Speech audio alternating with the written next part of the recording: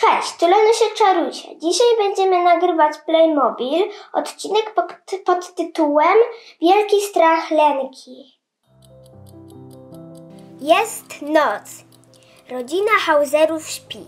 Niebawem zadzwoni budzik. Nikola wstaje, musi się przebrać. Jeszcze wszyscy śpią oprócz niej. Która już godzina?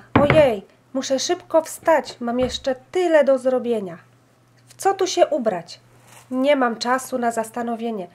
Ubieram moją ulubioną zieloną sukienkę.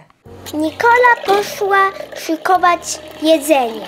Jeszcze szybka kawa na obudzenie i już będę gotowa. Nikola zrobiła sobie kawę i idzie do stołu. Kawa jeszcze gorąca, postawię ją tutaj na chwilę. Nikola poszła zrobić śniadanie dla całej rodziny. Wezmę mleko. Dzieci zawsze piją gorące mleko na śniadanie. Ania, Lenka, wstawajcie, już czas do szkoły i przedszkola. Jeszcze chwilę, nie chce mi się, Ania jeszcze śpi.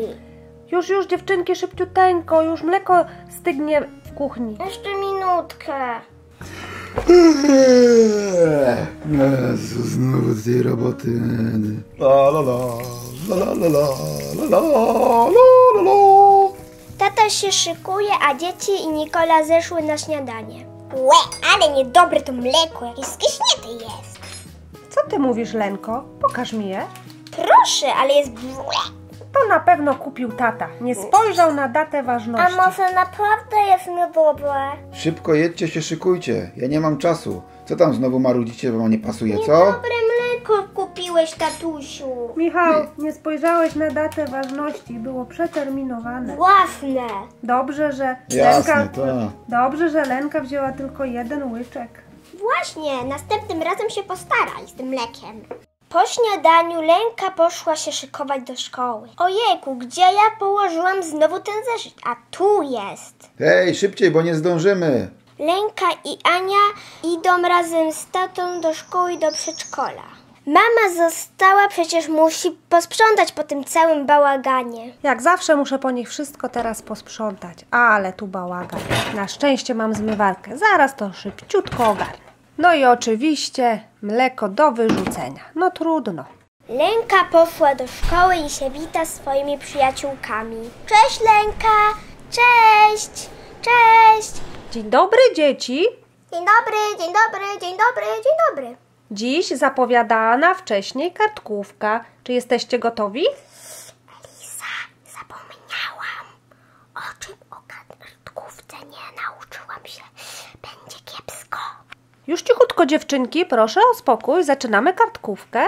Lenka i Eliza i wszyscy piszą teraz kartkówkę. Czy już wszystkie dzieci skończyły? Czy mogę zebrać już kartkówki? Tak. Po przerwie pani rozdała już kartkówki. Moi drodzy, mam już dla Was wyniki kartkówki. Bardzo proszę. Lenko, gratuluję. Bardzo dobra ocena. I hurra!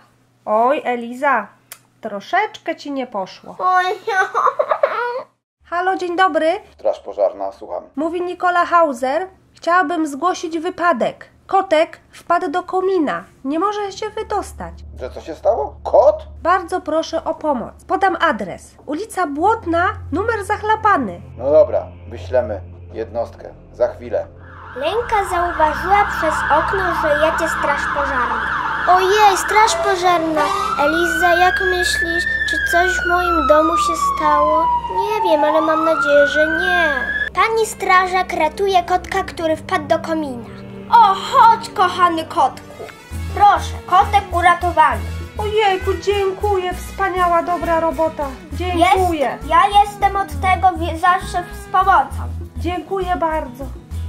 Zobacz, pani strażak u nas w domu, podaje kota. To u nas przyjechali, coś się stało. Ojej, mam nadzieję, że Niki nic się mu nie stało. Nasz kot ma na imię Niki? No tak, co ty? Ja nie wiedziałem. Myślałem, że to sierściuch. Na szczęście kotek żyje, nic mu się nie stało. Utknął tylko w kominie. Jeżeli Wam się podobało, zostawiajcie łapki w górę i oczywiście subskrybujcie nasz kanał. Pa, pa!